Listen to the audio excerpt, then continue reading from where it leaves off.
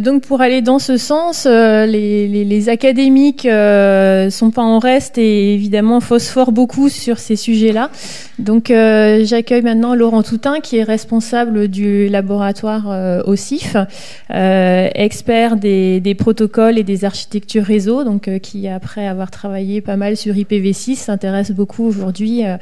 Bah, à l'internet des objets et à cette fameuse convergence IP qui, bah, qui a été euh, sur lequel euh, Emmanuel François a insisté euh, à, plusieurs reprises. Je te laisse la parole, Laurent. Merci. Ok, merci. Merci de m'avoir invité. Hein, puis...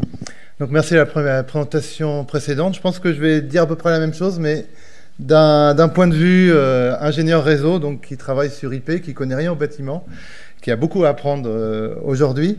Donc j'avais appelé ma présentation, il y a un titre un peu plus sérieux, mais sur le programme, c'était euh, comment connecter l'Internet des objets à l'Internet. Parce que quand on parle de l'Internet des objets, des fois l'Internet n'est pas très, très présent. Alors je vais essayer de classer un peu tous ces, tous ces mots-clés, tous ces concepts de l'Internet, et voir comment on peut les rapprocher donc, du monde des objets. Alors juste un slide au début pour dire où on en est. Alors, pour moi, on en est à peu près au même stade qu'il y a 30 ans sur la micro-informatique. C'est-à-dire que le marché est en train de se structurer. Il y a plein d'actions, de, constructeurs, de standardisation. Et euh, petit à petit, ben, on va voir du, ménage, il commence à se faire. Et on commence à avoir une vision un peu claire de, ce qu'il va faire. Mais quels sont les acteurs qui vont gagner? Ben, Ce n'est pas encore fait. Et donc, il y a, encore beaucoup de, suspense. Alors, c'est quoi l'Internet Alors, je vais juste faire quelques mots-clés sur euh, l'Internet. Donc on a montré tout à l'heure plein de protocoles. Euh, eh bien en fait, l'Internet, c'est un peu un moyen, c'est un moyen de convergence entre les applications et les moyens de transporter cette information sur, euh, le réseau. Donc IP, alors ça c'est une représentation d'IP euh, que les ingénieurs de l'IOTF aiment bien pour montrer que IP est tout petit parce que de cette manière-là, eh bien à la fois on a peu de surface entre les applications IP, donc c'est facile à porter, et il y a peu de surface entre IP et les moyens de transport, et donc de cette manière-là, on peut très bien mettre IP sur à peu près tout. Donc ça, c'est cet intérêt. En plus, comme IP étant simple, eh bien, il est euh, facile à implémenter, il est rapide, etc. Il y a une autre étude qui est intéressante sur, euh, c'est la network science, c'est-à-dire l'étude des réseaux. Et euh, en gros, c'est un peu le jeu de la vie, c'est-à-dire que l'on va donner des règles d'évolution à des protocoles qui vont mourir ou vivre en fonction de leur environnement. Et ce qui est assez intéressant dans, ce genre d'études, c'est qu'on voit toujours, comme ça a été dit tout à l'heure, plein de protocoles qui existent partout, mais que naturellement, l'évolution fait qu'on va avoir un endroit au milieu où on va en plus en trouver qu'un.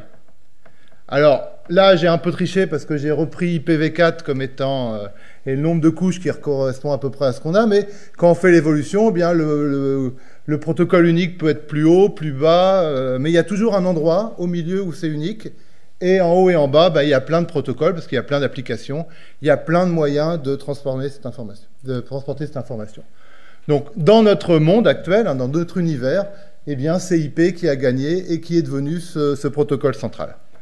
Alors, c'est bien, ça permet l'interopérabilité, mais ça a un gros défaut, eh ben, que comme on a un gagnant, bah, on a beaucoup de mal à remplacer ce gagnant par autre chose. Et c'est ce qu'on a vu pendant pas mal de temps, puisque ça fait 20 ans qu'on essaye de pousser IPv6 dans les réseaux, et on a beaucoup de mal à le faire passer, et IPv6 ne va gagner que parce qu'il n'y a plus de place en IPv4, et ça devient de plus en plus cher d'exploiter euh, des réseaux IPv4. Mais toutes les bonnes fonctionnalités qu'on avait fait au niveau de la recherche ou, ou autres pour IPv6 n'ont jamais réussi à s'imposer parce qu'on a un très grand conservatisme lié au parc euh, V4 existant. Alors, une autre vision du monde IP, c'est ce qu'on appelle le end-to-end. -end. Alors, on peut avoir la neutralité du réseau, etc. Enfin, plein de, plein de choses. En gros, qu'est-ce que ça veut dire? Ça veut dire que le réseau va être neutre pour les applications et qu'une application, quelle qu'elle soit sur Terre, a l'impression de parler avec une autre application qui est située à un autre endroit et on ne voit pas le réseau. On a l'impression de parler avec euh, ce qui est en face. Alors, au fil du temps, c'est de moins en moins vrai. En IPv4, eh bien, on n'avait pas assez d'adresses, donc il a fallu introduire des dispositifs comme les, NAT, Network Address Translation, qui ont permis d'augmenter artificiellement la taille du niveau 3. Et ce qui a permis, on a fait comme si c'était pareil, et on a continué à construire des applications suivant ce modèle. IPv6 était là pour réunifier ça et revenir sur euh, des bases normales. Mais maintenant, on voit apparaître un nouveau type de, système que l'on veut connecter au réseau, donc ce sont les objets. Et pour les objets, bah, c'est un peu plus dur que jusqu'à présent, pour plusieurs raisons. D'abord parce qu'ils doivent être très chers, hein, comme ça a été dit euh, tout à l'heure, et les évolutions techniques vont plutôt aller vers une baisse des coûts qu'une augmentation des puissances. On a peu de mémoire, on a peu d'énergie. Et puis, ce qui a été dit et ce qui est très important, c'est qu'on va avoir des cycles de vie complètement différents entre le monde des objets et le monde de l'informatique. Donc un compteur électrique, c'est mis sur un mur pendant 20 ans, alors qu'un téléphone portable, eh bien, vous en changez tous les ans, tous les deux ans. Donc les protocoles peuvent évoluer beaucoup plus facilement. Donc il y a tous ces, contraintes qui font que bah, l'Internet des objets, c'est difficile à interconnecter à l'Internet actuel. Alors, c'est des choses qu'on regarde donc dans l'équipe OSIF. On a deux manières de faire évoluer ce genre de choses. Soit on fait l'interconnexion au niveau applicatif, et donc ça va être des modèles comme les modèles REST qui ont été évoqués tout à l'heure, qui sont des, solutions euh, très très intéressantes. Ou l'autre solution, c'est de faire évoluer les protocoles IP, en particulier donc IPv6, pour permettre de prendre en compte le monde des objets. Et ce sont des approches comme Sixlopan, qu'on vous présentera tout à l'heure, euh, mais qui ont quand même des limites parce qu'on a quand même ces problèmes d'énergie et autres. Alors tout dépendra de, de ce qu'on voudra faire, comme je vais essayer de, vous le montrer. Donc ça, ce sont nos, les travaux qu'on regarde, ces, ces deux axes. Alors ce qu'il faut voir aussi au niveau d'IP, c'est qu'IP, ce n'est pas le meilleur protocole au monde. En fait, l'histoire se répète. Euh, si vous regardez, on revient 20 ans en arrière, quand on vous disait on va mettre IP euh, dans, un, une application bureautique, on vous disait ah bah non, euh, IP c'est nul, il faut mettre les adresses. Vous avez des protocoles comme IPX, NetBIOS qui sont beaucoup plus adaptés au monde de la bureautique. Quand vous alliez voir un opérateur et que vous lui disiez on va mettre IP dans le cœur de réseau, il disait ah bah non, nous on a un protocole qui s'appelle X25, Frame Relay ATM, qui est beaucoup plus adapté à ce que veut faire un opérateur réseau. Problème, c'est que vous aviez des contraintes différentes et vous n'aviez pas la possibilité d'interconnecter. Donc IP n'est pas le meilleur à un endroit donné, mais à peu près bon partout. Et donc ça, ça facilite l'interconnexion. Donc ça, ceci, ça peut biaiser des comparaisons en disant, bah ouais, votre protocole là, il fait pas, mon protocole il est meilleur parce qu'il a telle et telle fonctionnalité. Mais en fait, ce qui a gagné dans le passé, c'est pas la course aux fonctionnalités, c'est la possibilité d'interopérer. Donc ça revient à ce qui a été dit tout à l'heure, donc cette convergence euh, vers un protocole. Alors, maintenant, on parle beaucoup d'Internet des objets. Alors, tout le monde a sa classification. Je me rappelle ici, il y a trois ans, on avait fait un débat entre, avec euh, l'ITU qui cherchait à savoir si le M2M était inclus dans l'Internet des objets ou l'Internet des objets était inclus dans le M2M. Alors, euh, je ne sais pas si ils ont la réponse. Donc, je vais donner, moi, ma, vision des choses.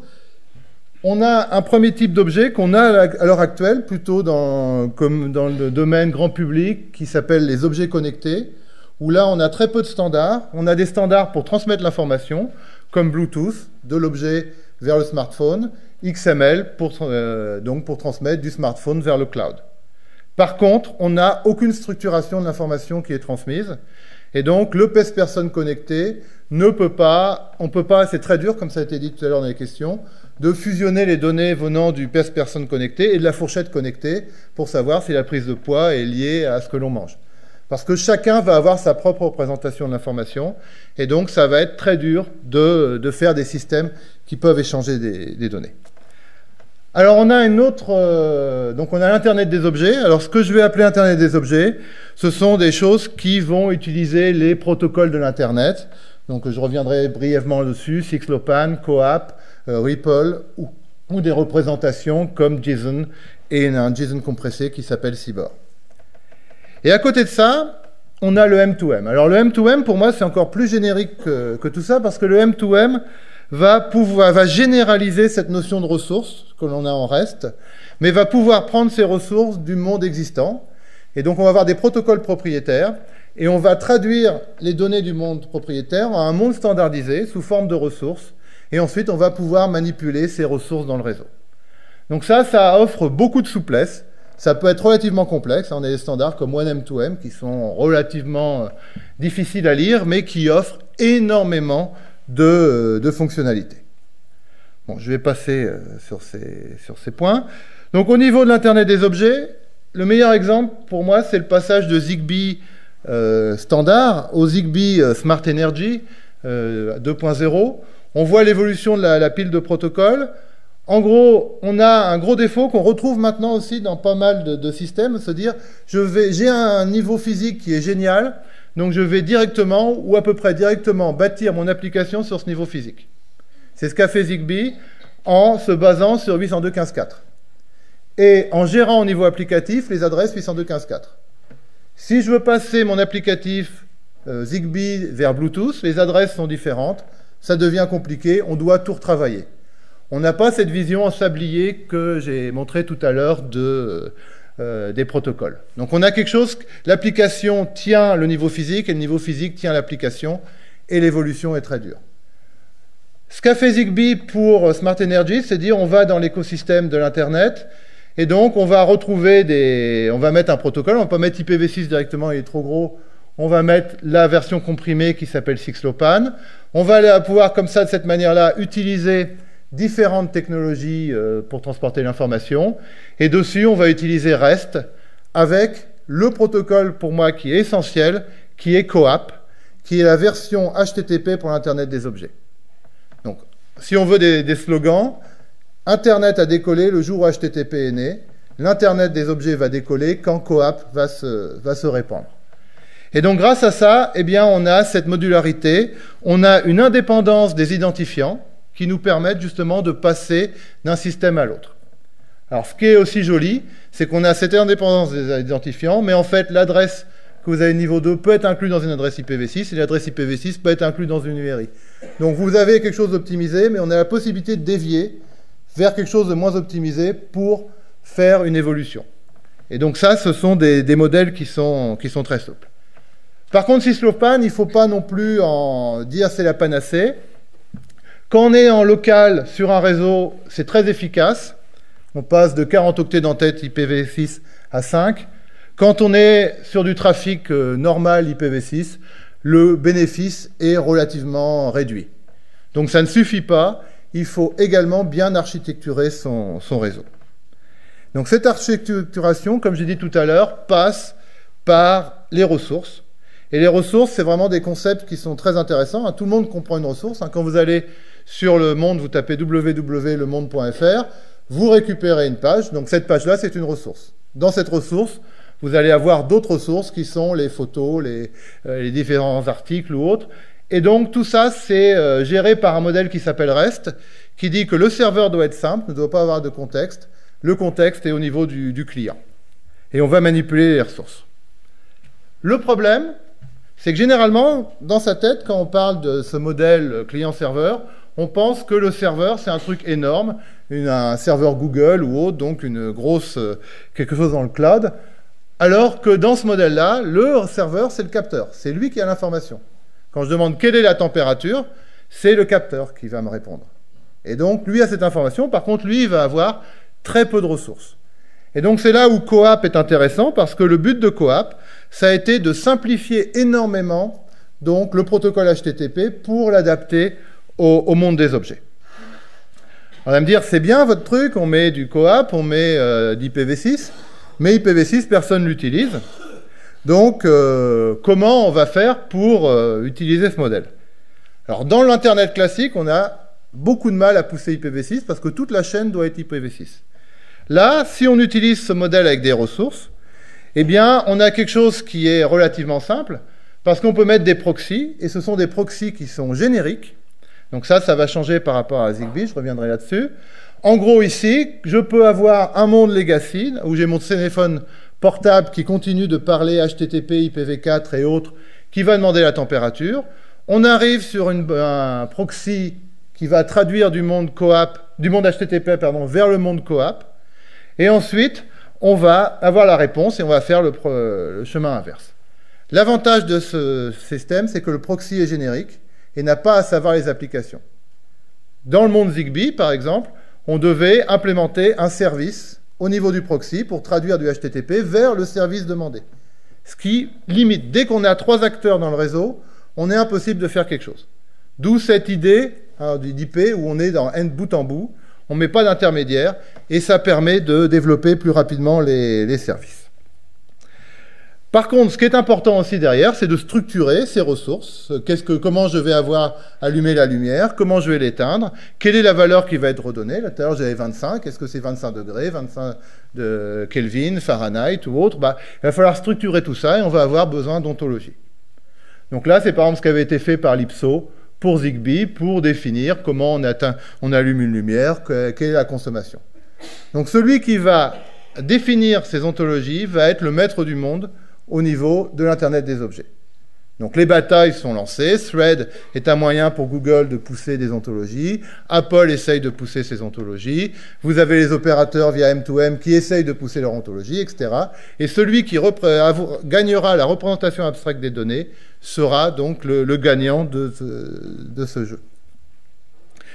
Alors, pour aller très vite, le M2M, c'est une généralisation de ce genre de choses. Et l'intérêt, alors, le M2M, c'est, euh, par à un M2M, alors je vais le prendre sur un exemple euh, un peu critique, parce que c'est là où c'est intéressant. Par exemple, on a un docteur qui veut surveiller euh, un pacemaker. Donc, qu'est-ce qu'on va avoir? On va avoir donc un protocole entre le, entre le pacemaker et une gateway, et ce protocole va être propriétaire. L'idée, c'est que derrière, on va représenter de manière uniforme, universelle, ces données propriétaires dans un langage qui va être euh, défini par la profession des, médecins. Et après, on va pouvoir manipuler ces ressources qui peuvent être stockées sur la gateway ou qui peuvent être réenvoyées dans le cloud. C'est ce que symbolise euh, cet euh, ordinateur. L'autre intérêt du M2M, c'est qu'on va pouvoir mettre de la sécurité, c'est-à-dire que l'on va avoir des ressources qui vont être des données du monde réel, mais on va avoir aussi des ressources qui vont contenir des clés de chiffrement, des autorisations d'accès, et on va pouvoir manipuler toutes ces, informations de manière uniforme. Et donc, de cette manière-là, eh bien, on ne va plus avoir que des ressources, et donc ça va simplifier énormément la gestion. Et jusqu'à la box, on va avoir quelque chose d'unifié, et c'est qu'au dernier moment qu'on va basculer sur le protocole propriétaire. On peut imaginer la même chose pour commander des stores, allumer des lumières, etc. Donc voilà, je vais vite. Alors, dernier point, le, routage. Donc ça, c'est un point essentiel dans, les réseaux IP. Alors, vous avez un protocole qui s'appelle Ripple, qui a été défini par l'IETF. Alors, il y a eu plusieurs métiers qui ont été étudiés. Vous en avez un qui est justement le bâtiment intelligent. Alors, je pense que si vous lisez le standard, vous trouverez un peu naïf, mais ça permet de définir différentes technologies. Et derrière ça, l'IETF a lancé donc un, une idée simple, c'est que le routage, en fait, la communication entre objets est relativement rare. Et ce qui est important, c'est d'optimiser le trafic entrant et sortant. Ce qui va dans l'idée du cloud, c'est-à-dire que le contrôle n'est pas directement au niveau des objets, mais le contrôle est en dehors du, monde des objets. Donc ce que fait Ripple aussi, c'est définir plusieurs méthodes, plusieurs chemins possibles, qui peuvent en prendre différents types de critères. Une alarme, on va minimiser le délai.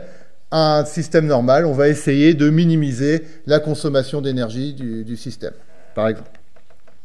Donc c'est un protocole très flexible qui peut s'appliquer à tout, mais par contre qui est très difficile à tuner. Vous avez énormément de paramètres à gérer. Et nous, on a une expérience dans le smart grid au niveau des réseaux de distribution. C'est il faut faire attention aussi entre la spécification Ripple et les implémentations Ripple que vous avez, qui sont généralement limitées par rapport au spec. Et donc, on peut tomber sur des, cas où ça marche mal. Donc, ce qui fait qu'il y a un énorme effort après pour l'appliquer à un environnement spécifique. Mais ça, c'est classique à tous les protocoles de routage. Le jour où un protocole de routage comme BGP a été introduit dans Internet, le réseau s'est écroulé. il a fallu une certaine période d'apprentissage pour arriver à maîtriser ces systèmes qui sont des, systèmes complexes.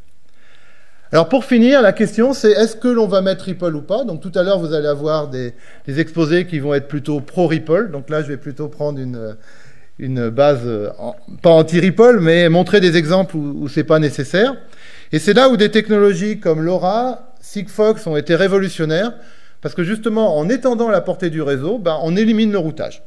Alors évidemment, ça ne marche pas dans tous les cas. Il faut euh, qu'il y ait peu de trafic. Mais de cette manière-là, on simplifie énormément le réseau et on baisse les coûts. Alors, le long range, c'est souvent vu comme étant quelque chose qu'on va mettre dans la ville intelligente, mais ça peut être aussi un moyen, comme ça a été dit tout à l'heure, dans un bâtiment, de couvrir euh, des, équipements avec très peu d'infrastructures, parce qu'on a quand même des systèmes qui sont assez robustes au niveau de la transmission. Et donc à, Télécom Bretagne, avec d'autres partenaires comme Kerlink, qui euh, fabrique des, relais euh, LoRa, WeSix Lab, qui fabrique des, cartes, euh, donc LoRa pour Arduino, l'AFNIC, parce qu'on travaille beaucoup au niveau du, nommage dans ces systèmes, eh bien on a lancé une expérimentation libre de, ce réseau. Donc on l'a appelé honteusement LoRa Fabian, donc LoRa pour la technologie et Fab pour les Fab Labs. Le but, c'est d'avoir des démonstrateurs ouverts avec un usage simple de cette technologie LoRa, donc avec des programmations simples qui vont permettre à des architectes, des designers, des étudiants de créer des nouveaux services que l'on va pouvoir mettre sur le réseau et qui sont complètement basés sur cette notion de ressources. Ce qui fait que le réseau LoRa est complètement transparent. On a, par exemple, notre smartphone, comme dans l'exemple que je vous ai donné tout à l'heure, on a l'objet représenté par un nom dans le DNS. L'objet a des ressources et on va chercher la ressource, on a la réponse, sans voir toute la complexité de l'infrastructure qu'on a mis en place. Donc on a un modèle très simple à comprendre pour créer des, nouveaux services. Et de l'autre côté, eh bien, nous, ça nous donne aussi un avantage pour travailler sur l'architecture de ces protocoles, pour bien les intégrer sans couture dans l'écosystème de l'Internet, gérer aussi les trafics, parce qu'on est dans des systèmes très contraints, où on a le droit d'utiliser qu'un pour cent du temps pour l'émission. Et donc, on a évidemment énormément de contraintes, ce qui fait que, par exemple, on doit euh, bien travailler les protocoles IP pour que ça soit optimal. Donc, c'est des choses que l'on est en train de, développer donc sur Rennes et sur d'autres villes. Alors, en conclusion, bah, l'Internet des objets, bah, c'est bien, comme ça a été dit tout à l'heure, pour faire des économies d'échelle. On n'a pas besoin de développer euh, beaucoup de types de réseaux. On peut essayer de les regrouper. Euh, il y a besoin donc d'interopérabilité, donc de définition des, protocoles, mais aussi de la manière dont on représente l'information. J'irai simplement sur le, dernier point, à mon avis, qui est aussi important et qui va peut-être permettre d'introduire les travaux autour de, de Sixtish, c'est qu'on va avoir des contraintes légales importantes, c'est-à-dire qu'un système d'alarme, quand il va être validé, ben, on ne peut pas prendre en compte, ah bah l'alarme n'est pas passée parce que quelqu'un a appuyé sur le bouton de l'ascenseur. Donc il va falloir bien séparer tous ces réseaux. Et donc, des protocoles qui introduisent du déterminisme, comme Sixtish, peuvent être de bons candidats pour, euh, pour ça. Mais c'est juste, vous aurez une présentation sur Sixtish euh, bientôt. Merci, merci beaucoup, Laurent. Est-ce qu'il y a des...